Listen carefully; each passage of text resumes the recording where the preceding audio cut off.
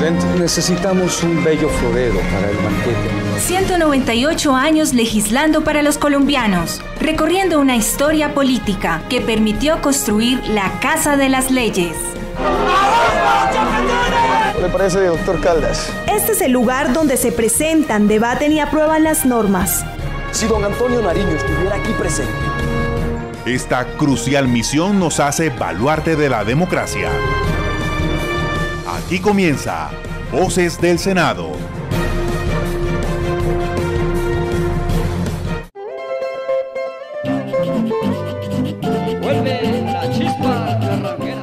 Buen día, amables oyentes. Soy Edgar Ricardo Segura y como cada fin de semana a partir de las 7 y 30 de la mañana, el equipo de periodistas de Voces del Senado les contará los hechos que fueron noticia en el legislativo.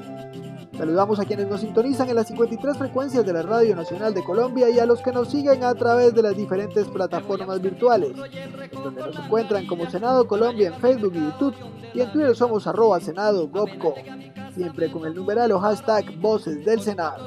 Bienvenidos.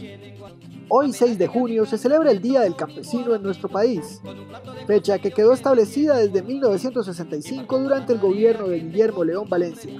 Así, el primer domingo de este mes se reconocen las labores de todos los campesinos y campesinas.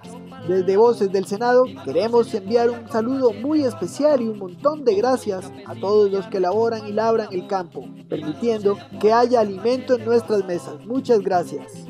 Nuestra periodista Noensi Mosquera habló con varios senadores y nos tiene el siguiente mensaje. Nos encontramos en el programa Voces del Senado con la senadora Amanda Rocío González. Senadora, el mensaje que usted le quiere enviar a toda nuestra población campesina en Colombia. Hola Noensi, muy buenos días. Un cordial saludo para usted, para todo el equipo de trabajo, para todos los oyentes de Voces del Senado quiero decirles que el Día del Campesino es muy especial porque busca exaltar la importante labor de los hombres y las mujeres que han dedicado toda su vida a labrar la tierra colombiana para producir alimentos. La fecha hoy cobra más relevancia en estos tiempos de pandemia porque mientras que el país se detuvo, los campesinos no han parado de trabajar para garantizar el abastecimiento de cada hogar y la seguridad alimentaria del país. Mis raíces, como las de la gran mayoría de colombianos, son campesinas. Conozco de primera mano las potencialidades que tiene ubicación geográfica del territorio nacional para que prosperen los cultivos, la ganadería, la piscicultura y demás. Sin embargo,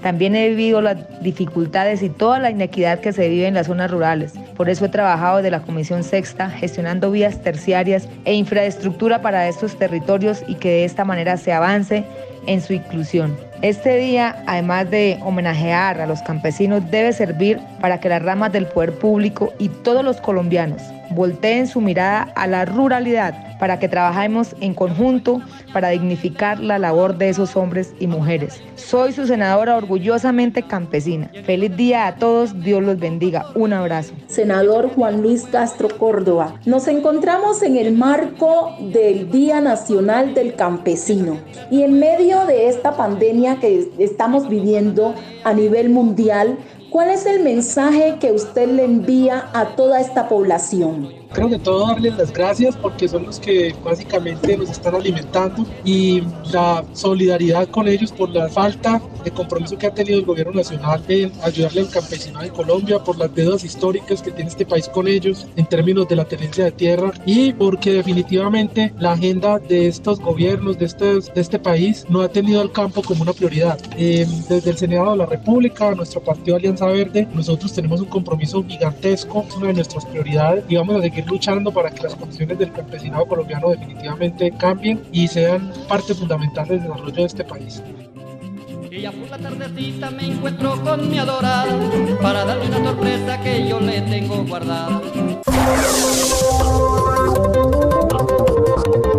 Voces del Senado, iniciativa de la mesa directiva encabezada por el presidente de la corporación Lidio García Turbay.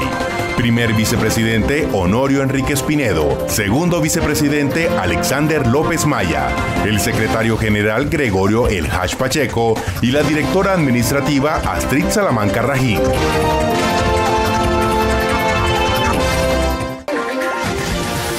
A continuación, nuestros titulares. Senadores de la Comisión de Derechos Humanos señalaron que las gestiones adelantadas por el gobierno en ayudas a distintas zonas del país van por buen camino. Opiniones divididas al interior de la Comisión Segunda por la gestión adelantada por el Alto Comisionado para la Paz frente al cumplimiento en acuerdos firmados en La Habana. Audiencia pública para analizar acto legislativo que condena cadena perpetua a quienes cometieron delitos sexuales contra menores dejó varios cuestionamientos al interior de la Comisión Primera sobre la viabilidad de dicha iniciativa. A pesar de los avances positivos al interior de las cárceles del país durante la pandemia, los senadores de la Comisión de Ordenamiento Territorial coincidieron en la necesidad de seguir trabajando más en el proceso de resocialización de los reclusos. Bienvenidos a Voces del Senado.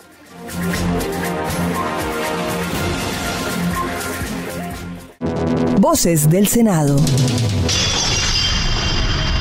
Frente a las diferentes problemáticas de carácter social que han surgido por la pandemia del COVID-19 en el país, los senadores de la Comisión de Derechos Humanos se reunieron con entidades del gobierno y organizaciones civiles para identificar cuáles han sido los avances ante esta situación y qué hace falta por mejorar en las ayudas a los ciudadanos que se encuentren en las condiciones más vulnerables. Más detalles de este informe con el periodista César Alexander Ariza. Dentro de las gestiones adelantadas, el viceministro del Interior Carlos Baena destacó las ayudas que están llegando a La Guajira en materia alimentaria y de medidas de protección sanitaria. También se logró coordinar con bomberos el envío de 13 carrotanques a La Guajira, acorde con, con la necesidad que habían manifestado las comunidades de esa región del país. Y por supuesto, hemos venido haciendo una labor de interlocución, de articulación con los diferentes ministerios, ya de cara a lo que tiene que ver con el COVID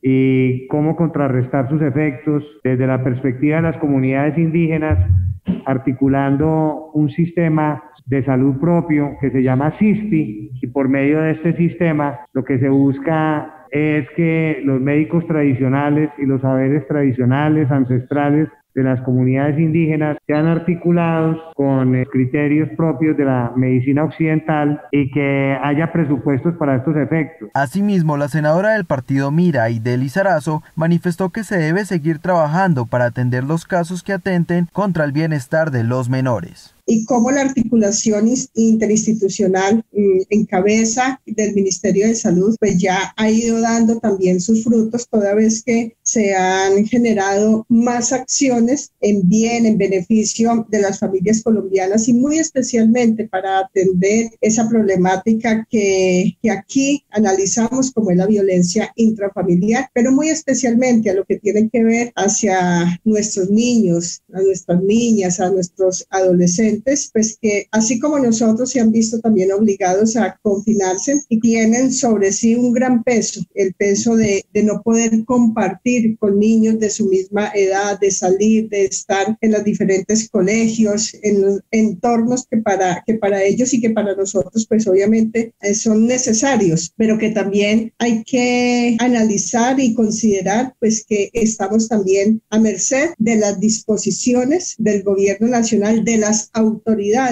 Para la representante por el Instituto Colombiano de Bienestar Familiar, Juliana Cortés Correa, la entidad ha mantenido contacto directo con la población a través de la línea 141, en donde han identificado riesgos de salud mental para niños, niñas y adolescentes. A la fecha, desde el 12 de marzo, hemos recibido y se han recibido a la línea 141 23.182 reportes o solicitudes y denuncias con relación a temas de violencia en contra de niños, niñas y adolescentes eh, que han necesariamente activado nuestras eh, defensorías de familia, pero asimismo se ha fortalecido la 141 en temas de acompañamiento a los cuidadores y a los padres, porque lo que hemos identificado es que muchas de estas llamadas pues, que estamos recibiendo desde el ICBF tienen que ver también con problemas aún más complejos en nuestros niños, niñas y adolescentes que tienen que ver con temas de ansiedad, con temas de depresión y con temas de conductas suicidas. En este sentido, se ha venido fortaleciendo de manera significativa la línea 141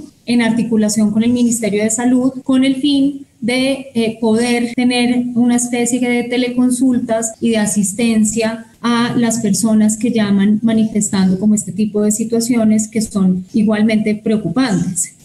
Finalmente, el presidente de la comisión y senador del partido Colombia Justa Libres, Edgar Palacio, solicitó al presidente de la República intervenir a favor de los niños y aseguró que es en estos momentos donde más se trabajará de la mano con los organismos del Estado. También encuentro que el virus nos puso de acuerdo a todos. Logró un consenso que no logramos nosotros desde la sociedad política, desde el Estado. Puso al Estado a trabajar más. Estaba trabajando, pero ahora trabaja mucho más a favor de los colombianos. Nos puso a hacer la redistribución de ingresos que no habíamos logrado por acuerdo político. Nos toca hoy hacer esa redistribución de ingresos con transferencias, con subsidios, y eso nos permite organizar una sociedad de una forma más justa. Entonces, ahí tenemos unos puntos de acuerdo y que esta comisión de manera permanente y el Estado ha estado en permanente diálogo, contacto a través de la Comisión Económica, de las diversas comisiones del, Congreso de la República. Eso legitima al Estado por un, por, por un lado, pero también genera esa, diríamos, fortalece tanto al Estado en legitimidad como el poder servir. Estamos para resolver los problemas y ayudar a todos los colombianos. Voces del Senado. Dada la preocupación de algunos senadores en el tema del cumplimiento de los acuerdos de paz firmados con las FARC en La Habana, los integrantes de la Comisión Segunda se reunieron con el alto comisionado Miguel Ceballos en un debate en el que profundizaron además sobre las gestiones adelantadas por el mismo y su efectividad frente a la situación de violencia que atraviesa el país. Más información con nuestra periodista Gloria Moncayo. El alto comisionado para la paz, Miguel Ceballos, fue enfático en destacar su compromiso en defender los derechos de las víctimas y trabajar en diálogos de paz con grupos armados. Hay una gran labor que nosotros desarrollamos haciendo pedagogía precisamente del acuerdo de paz. Ahí están todos los eh, enlaces de la difusión de los acuerdos de, de paz porque es nuestra obligación, pero también es nuestra convicción ética, que es el sistema integral de seguridad para el ejercicio de la política. Ahí el señor presidente me ha nombrado como su delegado. Esa es una instancia supremamente importante porque tiene no solamente la Comisión Nacional de Garantías de Seguridad, eh, esa eh, comisión está, y como lo dice la propia ley que la crea, orientada al desmantelamiento de los grupos armados que afectan, por supuesto, a los defensores de derechos humanos. Y ahí es donde yo veo que vale la pena resaltar una de las funciones de este comisionado de paz. Nosotros tenemos que proteger a los líderes y lideresas, pero lo primero que tenemos que hacer para eso es desactivar estos grupos que de acuerdo con la Fiscalía General de la Nación son quienes cometen la mayor cantidad de crímenes y amenazas contra las lideresas y los líderes sociales. Por su parte, el senador del Partido Polo Democrático y citante, Iván Cepeda, expresó que el comisionado no está trabajando para brindar garantías ni dar cumplimiento al acuerdo de paz. Yo veo que todos estos asuntos que usted destaca como si fueran pues el balance non plus ultra de su gestión, pues en buena parte tengo que decírselo, corresponden tal vez a otro tipo de labores que yo no menosprecio, por supuesto, pero que no tienen que ver con el asunto esencial. Su labor principal, señor comisionado, es resolver los problemas que tienen que ver con las condiciones que permitan resolver el conflicto armado en Colombia. Y eso es lo que usted no ha hecho. Y es más, lo que está aquí en discusión es que ha hecho lo contrario, porque ese es el otro aspecto que precisamente aquí está en discusión, es el tema que usted resalta de que los acuerdos se deben cumplir con buena fe. Pues eso es lo que le estamos reclamando a usted precisamente. Usted no puede mezclar la función de un país garante de paz con los deberes que tiene la comunidad internacional de combatir el terrorismo. Por favor, sea serio, sea responsable. Un país que se compromete a ser garante de paz por supuesto que tiene unas obligaciones ante la comunidad internacional que no es la de cualquier país, o necesito explicarse. No obstante, el senador Ernesto Macías del Partido Centro Democrático manifestó que no se debe poner en duda el compromiso que tiene el presidente de la República con los colombianos para enfrentar el conflicto armado en el país. En cuanto tiene que ver con este debate al comisionado de paz, se han vuelto o se ha vuelto también costumbre escuchar los debates a las personas, es decir, a los funcionarios puntualmente porque no los quieren ver allí y les piden la renuncia, los amenazan. En este caso del comisionado Ceballos no, no le anuncian moción de censura porque la ley no lo permite, o si no ya también se lo hubieran anunciado. Entonces se ha vuelto costumbre pedir la renuncia y preguntarle, imagínense hasta con quién se reúne, por Dios. Es decir, los que critican aquello de que también nos unimos a esas críticas de los seguimientos, de cómo le llaman eso, las chuzadas, aquí lo hacen a través de preguntas en debates con quién se reúne, el doctor Ceballos lo que hace es cumplir con la constitución y la ley, pero especialmente cumplir el mandato encomendado por el presidente de la República de buscar el sometimiento a la legalidad de los grupos armados organizados. Sin embargo, el senador del partido Alianza Verde, Antonio Sanguino, calificó la actuación del alto comisionado como ineficiente y puntualizó en que debe salir de su cargo. Señor comisionado de paz, no debería seguir ostentando ese título en nombre del Estado colombiano y no debería mantener la responsabilidad que no ha cumplido a la fecha para garantizar el derecho a la paz de los colombianos, que es su principal obligación constitucional y legal. Por varias razones. Primero, por una gestión ineficiente. El señor, el señor comisionado de paz y el gobierno del presidente Duque no ha presentado una sola iniciativa legislativa en la implementación del acuerdo de paz. Segundo, porque el señor comisionado de paz se pronuncia una y otra vez contra los derechos de las víctimas. No ha movido un solo dedo, por ejemplo, para la extensión de la ley de víctimas, que fue previa y que facilitó el acuerdo de paz con las FARC, pero además se ha pronunciado una y otra vez contra las 16 curules que tienen derecho las víctimas, porque el señor comisionado de paz no solo no ha facilitado, sino que ha obstruido el avance de un proceso de diálogo y negociación con el ELN. Se ha dedicado a hacer lobby contra Cuba y contra la comunidad internacional que nos ha ayudado en la búsqueda de la paz de los colombianos. Nosotros tenemos un comisionado de paz que alaba los halcones en vez de cultivar y proteger las palomas de la paz. Voces del Senado.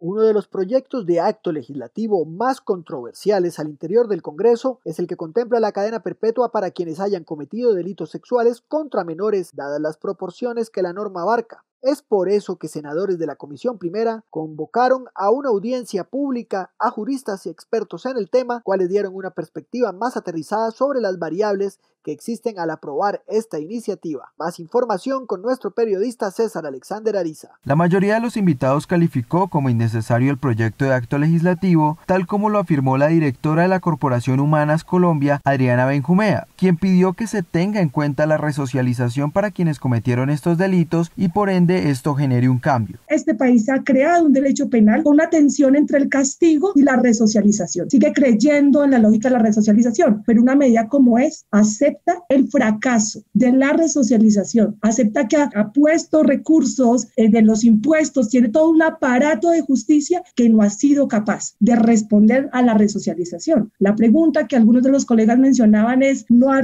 no ha dado respuesta a la resocialización en los delitos sexuales o realmente este país tiene políticas de resocialización que vayan de la mano de prevenir la reincidencia. Creo que hay una pregunta responsable para el sistema de justicia, pero también para los y las legisladoras de por qué hoy renunciar a la resocialización y de cuántos más delitos quisiera renunciar a ese componente que además está contenido como un enfoque de proyección de nuestro derecho penal. Asimismo, el senador Temístocles Ortega del Partido Cambio Radical insistió en la necesidad de revisar esta iniciativa de la cadena perpetua si su efecto termina siendo negativo. Y esto nos, nos pone a nosotros, en, a los congresistas, sobre todo esta comisión, en la necesidad de mirar estas cosas con mucha responsabilidad, con sensatez, como también lo han dicho ellos. Entonces se trata de, de aumentar la pena de un delito en determinada cantidad de años o de transformarla en cadena perpetua o no. No, quizá eso es lo menos importante en una constitución. Y el llamado que han hecho aquí los académicos en ese sentido es nuclear, ¿no?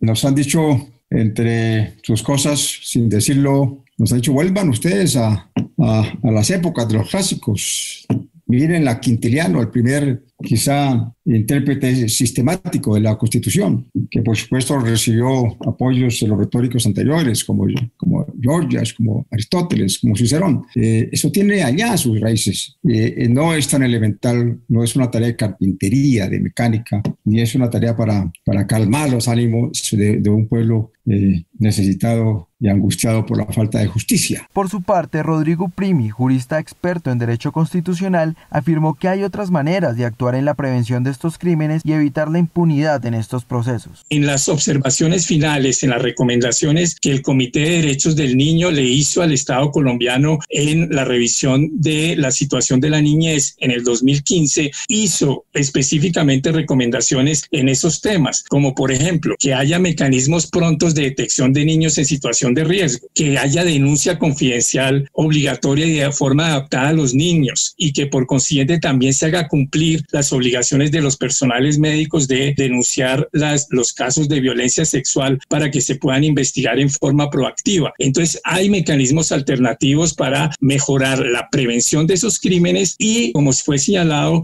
eh, a partir de el clásico el derecho penal becaría, pero también estudios contemporáneos como los del profesor Raguín, lo que logra prevenir y lo que logra disuadir no es tanto la intensidad de la pena, sino la certeza de la misma. Y Colombia tiene esa paradoja de tener hoy penas muy altas, eh, algunos consideramos incluso excesivamente altas, mientras que hay una impunidad muy alta. Y entonces subir las penas es generar un efecto simbólico, dar la impresión de protección, mientras los criminales sienten que pueden seguir actuando impunemente porque hay total ineficacia en la investigación penal. De igual manera, el senador Roy Barreras del partido de la U consideró que estas medidas exigen una mirada objetiva que tenga en cuenta el impacto que tendrá en la ciudadanía. Dije y reitero que los legisladores en el mundo tenemos una paradoja. O escuchamos las emociones, la indignación popular, la voz plebiscitaria, o asumimos el papel de líderes de una sociedad para filtrar las emociones a través de la argumentación racional. Por supuesto que uno puede suponer que la democracia representativa deba ser reemplazada hoy por las redes sociales. Nosotros, muchos de nosotros creemos lo contrario, que ahora más que nunca es indispensable el juicioso ejercicio de los congresos y los parlamentos. Y me parece que las emociones no son buenas consejeras para reformar constituciones. Pero eh, quería hacer esa precisión eh, porque lo que la gente en la calle quiere es castigo efectivo contra los criminales que violan niños. Voces del Senado. Muchas han sido las discusiones al interior del Congreso alrededor del tema carcelario, en donde a inicios de la pandemia se temía un contagio masivo. No obstante, en la reunión que sostuvieron los senadores de la Comisión de Ordenamiento Territorial con los directores de los centros penitenciarios del país y la ministra de Justicia, Margarita Cabello, se llegó a diversas conclusiones más allá de la crisis sanitaria. Ampliación de este tema con nuestro periodista César Alexander Ariza. El director del centro carcelario, Miguel Ángel Rodríguez, calificó la gestión al interior del plantel y señaló la implementación de recursos médicos para la protección de los reclusos. Y es así como ya podemos dar, si bien no un parte de victoria, sí un parte de tranquilidad al no presentarse ninguna urgencia, no tenemos ningún interno en el momento de los 755 que estén en una UCI o que tengan eh, ni siquiera en los hospitales, entonces podemos eh, estar tranquilos porque a hoy tenemos 386 eh, personas que ya tienen más de un mes con, con su prueba positiva, es decir, que en teoría podríamos decir que ya lo peor de la enfermedad ha avanzado para ellos y que ya tendríamos que estar a la espera de los protocolos de salud pública o del Ministerio de, de, Salud referente a cómo se declararía para, para saber si ellos siguen dentro de su aislamiento o ya se consideran sanos. No obstante, el senador Jorge Eduardo Londoño del Partido Alianza Verde consideró que la problemática del sistema carcelario radica en un tema de estructura. De tal manera que la situación carcelaria no se va a resolver si no tomamos medidas de fondo. Miren, en los últimos 15 años se ha construido de infraestructura carcelaria más del 120%. Y en esos mismos años, la cantidad de personas que han ingresado a los establecimientos es del 300 y pico por ciento. No hay forma de resolver este problema con esta mentalidad que tenemos. Y lo dice alguien que tuvo directa relación y responsabilidad con ese sector. Nuestros directores de cárceles, todos ponen la mejor actitud, pero será muy muy difícil. Y más del 90% de los internos pertenecen a los estratos 1 y 2. Es decir, nosotros estamos echándole la culpa de la ineficiencia de un Estado inequitativo, injusto, a unas personas que, que en su mayoría tienen que recurrir al crimen para poder subsistir. Asimismo, el citante y senador por el Partido Colombia Justa Libres, Eduardo Pacheco, expresó que debe darse garantías a la resocialización de los reclusos. Entonces, puntualizo diciendo, en el tratamiento penitenciario debe realizarse conforme a la dignidad humana y a las necesidades particulares de la personalidad de cada sujeto, o sea, individualmente considerado como tal. Se verifica a través de la educación, como sabiamente acotaba la psicóloga, la instrucción, el trabajo y actividad cultural, recreativa y deportiva y las relaciones de la familia. De manera reiterada, la Corte Constitucional en su sentencia declaratoria y de otros organismos han manifestado que no se cumple el objetivo de tratamiento penitenciario ni la reducción de la reincidencia como resultado del hacinamiento, la falta de recursos humanos, financieros, la infraestructura inadecuada, entre muchos otros. Por su parte, la ministra de Justicia, Margarita Cabello, indicó que estas medidas ya se empiezan a implementar con la contratación de personal encargado de evaluar estos casos. Nosotros en el 2018 se ordenó y se estableció el incremento de la planta de personal del cuerpo de custodios en 2.800 personas. Estamos en este momento, estábamos antes del COVID eh, en la convocatoria para implementar esa planta de personal de 2.800 personas para tener y reforzar el grupo disciplinario, reforzar en resocialización el grupo de psicólogos, trabajadores sociales y sociólogos y reforzar el grupo de abogados para que en los equipos jurídicos de cada centro penitenciario pueda ser más rápido el análisis y el conteo de los beneficios por comportamiento bueno, por trabajo, etcétera, y así salgan a, a libertad muchos privados de la libertad porque ahí tenía o existía un represamiento entre los jueces y las oficinas jurídicas.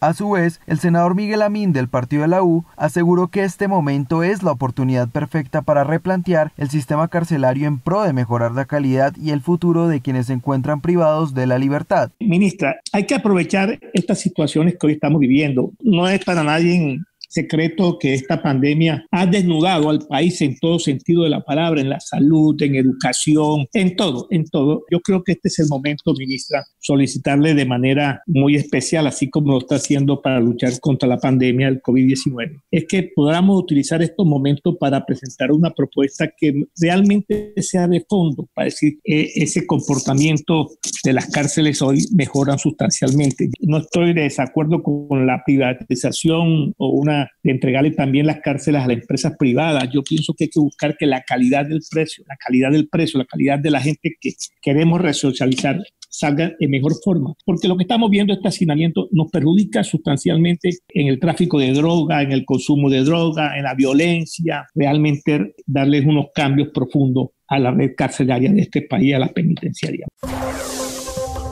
Síganos en Facebook como Senado Colombia, en Twitter e Instagram como arroba Senado y a través de la aplicación Mi Senado, donde pueden ser veedores de la labor que cumplen los congresistas.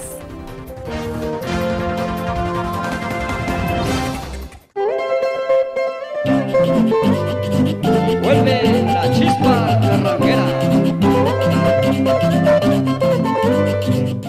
desean ampliar la información sobre los temas del legislativo, nos pueden escribir al correo electrónico voces del senado No nos cansaremos de decirlo, no olvidemos acatar las medidas de las autoridades. Recordemos salir de nuestros hogares solo en situaciones de estricta necesidad. Además del lavado de manos y la desinfección, todos unidos podemos vencer este virus. Este programa se realizó bajo la dirección de la jefe de la Oficina de Información y Prensa, Raquel Gutiérrez Vizcaíno, la coordinación de Maritza Pardo Rojas, trabajo periodístico Gloria Moncayo, César Alexander Ariza Álvarez, Hernando León Vanegas y Noensi Mosquera, bajo la producción de Carlos Mario Segura Romero y la locución de Edgar Segura. Les deseamos un feliz día y no se olviden de nuestra cita, todos los sábados y domingos a partir de las 7 y 30 de la mañana.